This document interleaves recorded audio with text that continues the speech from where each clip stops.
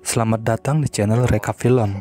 Buat kalian yang baru bergabung, jangan lupa klik tombol subscribe dan aktifkan lonceng notifikasinya agar tidak ketinggalan video-video terbaru dari channel ini.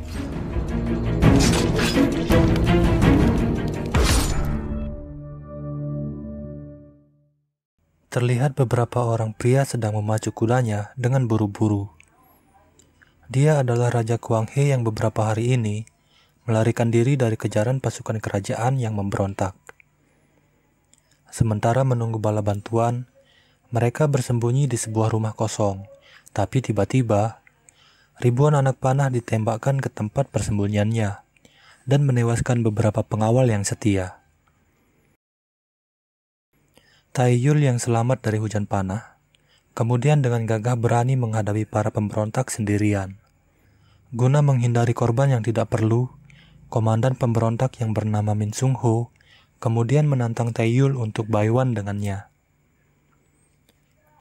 Diketahui Taiyul dan Sung Ho dulunya merupakan pengawal pribadi dari Raja Kuang He.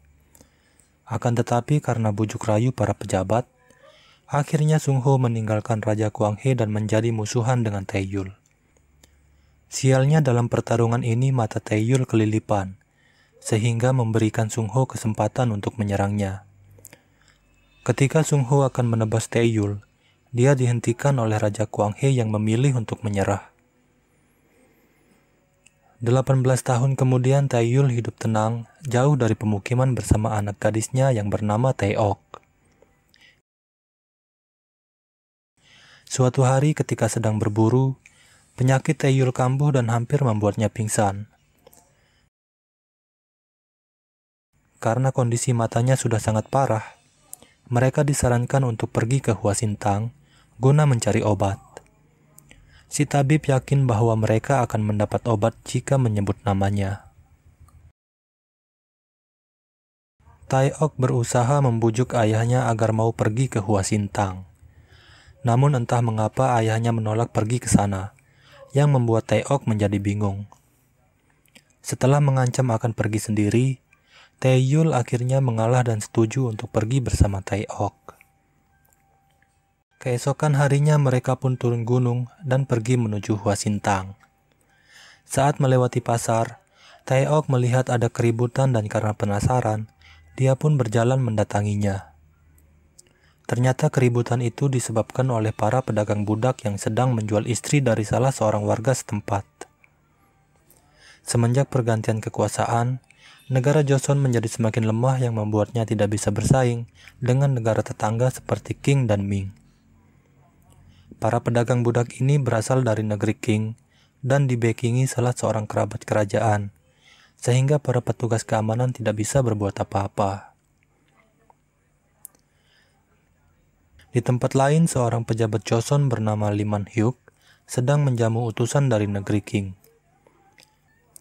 Kemudian salah seorang kerabat kerajaan dari negeri Qing datang dan bergabung. Dia adalah Guru Tai, salah seorang pendekar pedang terbaik dari negeri Qing, dan juga ketua kelompok Huang yang adalah para pedagang budak. Di tengah diskusi mereka, suasana menjadi panas. Guru Tai dengan sengaja menghina kerajaan Joseon yang membuat Min Sung Ho menjadi geram. Untuk meredakan suasana, dia kemudian menantang Sung Ho melawan salah seorang anak buahnya.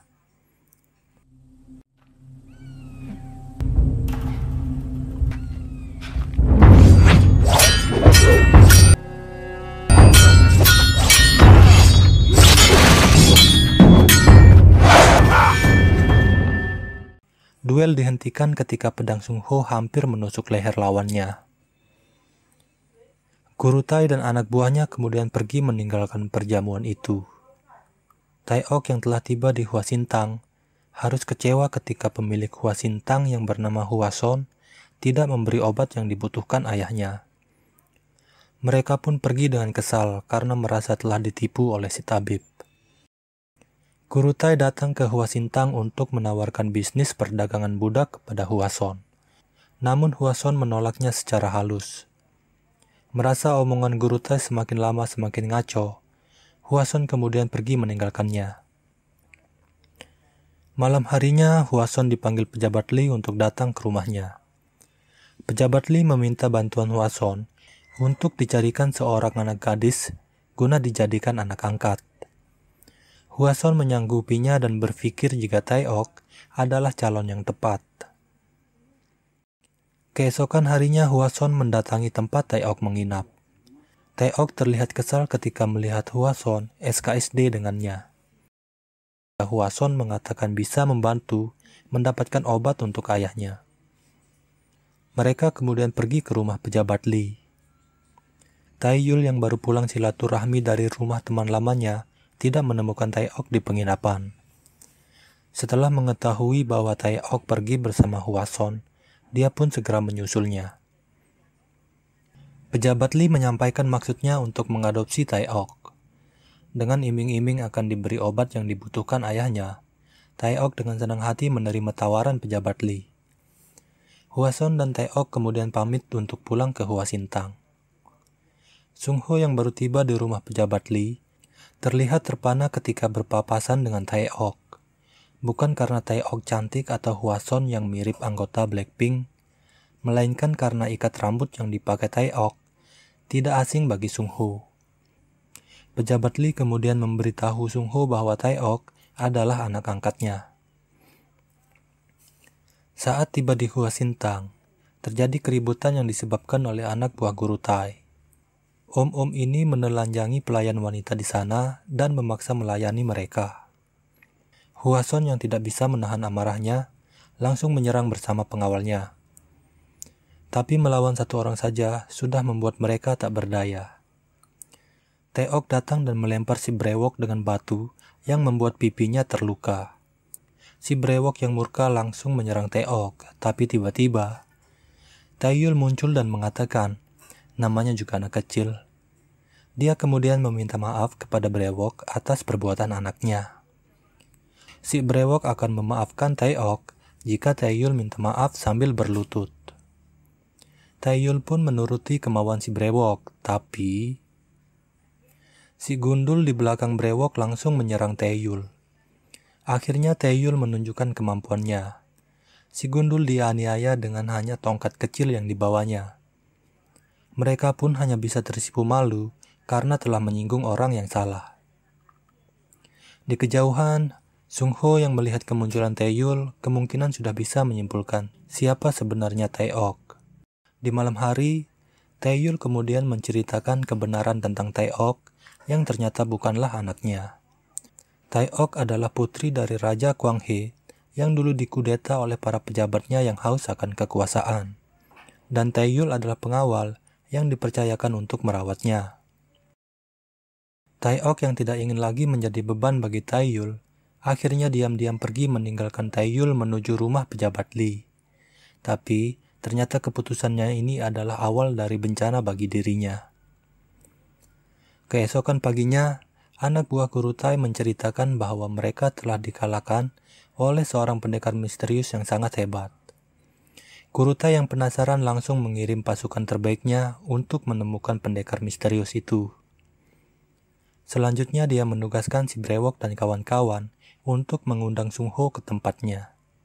Kurutai tertarik dengan kemampuan pedang Sung Ho dan ingin agar Sung Ho bisa bergabung menjadi pengikutnya. Dia pun menawarkan harta, tahta, wanita bagi Sung Ho, tapi Sung Ho yang setia pada tanah air beta menolak tawaran Kurutai dan langsung pergi dari sana. Sebenarnya Sung Ho sangat kecewa dengan pemerintahan yang sekarang. Para pejabat terlalu mementingkan diri sendiri dan tidak memperdulikan rakyatnya.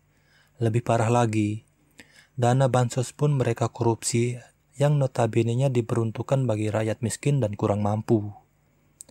Sung Ho sangat menyesal telah membantu menggulingkan Raja Kuang He. Dia pun memutuskan pensiun dari pemerintahan dan menjalani hidup apa adanya. Di tempat lain, Taeyul yang tidak mendapati Taeok di penginapan memutuskan untuk mencarinya. Saat melewati hutan, pasukan yang dikirim Kurutai menyergap dan menyerangnya. Taeyul yang sedang buru-buru, tanpa basa-basi langsung membantai mereka. Utusan dari negeri King mendatangi Kurutai dan memperlihatkan surat yang dikirim oleh pejabat Lee. Kurutai menjadi murka setelah mengetahui bahwa pejabat Li ingin dia mati. Malam harinya, Kurutai datang bersama pasukannya dan membantai orang-orang di rumah pejabat Li. Taeok pun diseret dan hampir mati di penggal Kurutai yang menyangka Taeok adalah anak pejabat Li. Di sini akhirnya diketahui maksud pejabat Li ingin mengadopsi Taeok. Ternyata dia ingin menyamarkan anak kandungnya agar selamat dari konflik dengan negara King. Beruntung si brewok yang mengenali Taeok menghentikan Kurutai dan mengatakan bahwa Taeok adalah putri pendekar misterius itu. Sung Ho juga datang dan meminta agar Taeok tidak dibunuh. Sebagai kompensasinya, dia akan bergabung dan menjadi pengikut Kurutai. Di Huasintang, si Gundul mengamuk dan menyiksa Huason. Dia ingin menemukan dan membalas Taeyul yang telah mempermalukannya. Tidak lama kemudian Taeyul muncul dan langsung menghabisi si Gundul tanpa perlawanan. Taeyul datang untuk mencari Taeok yang kemudian langsung diajak Hwason pergi ke rumah pejabat Lee. Sampai di sana, mereka hanya menemukan barisan mayat yang berjejer rapi seperti ikan teri.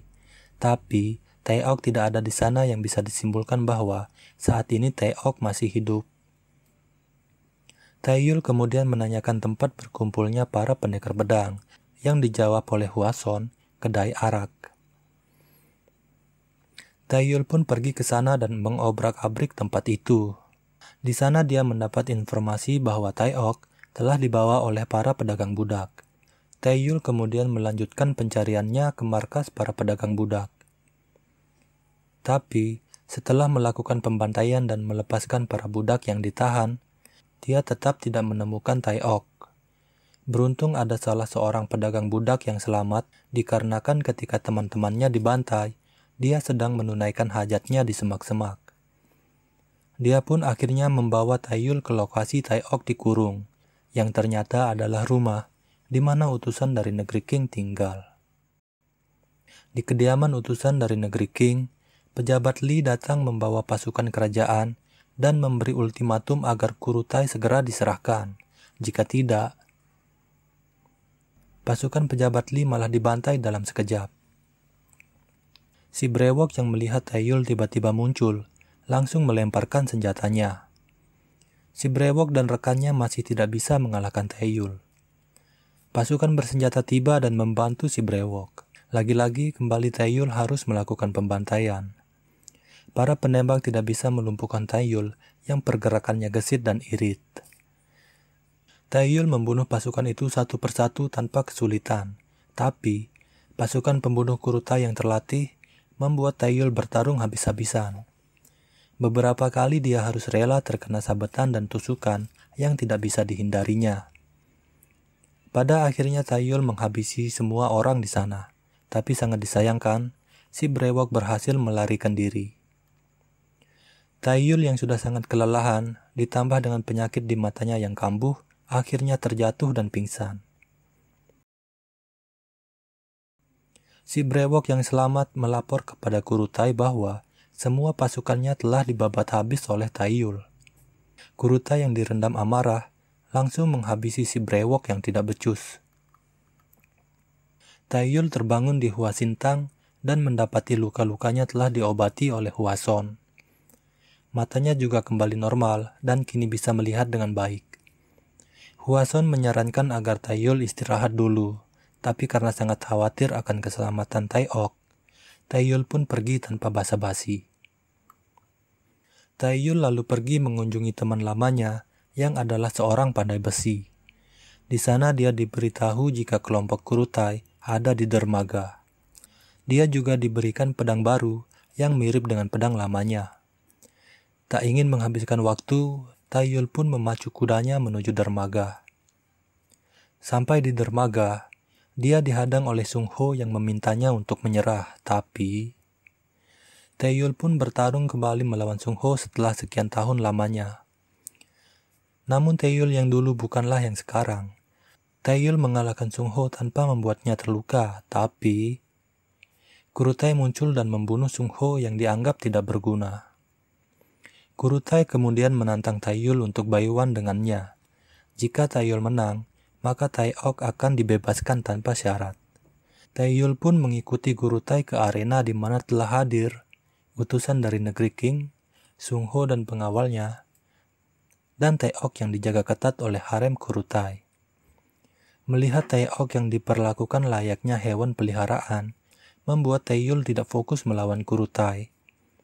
Beberapa kali dia terkena sabetan pedangnya, tapi dengan semangat baja dan tekad besinya, Taeyul berhasil menipu pergerakan Kurutai untuk mendekati Taeok dan menebas leher harem Kurutai. Kurutai yang kalap melihat haremnya terkapar, menyerang dengan membabi buta tanpa memperhatikan kode etik perpedangan yang membuat lehernya tersayat dan dadanya tertusuk pedang Taeyul yang mengakhiri hidupnya.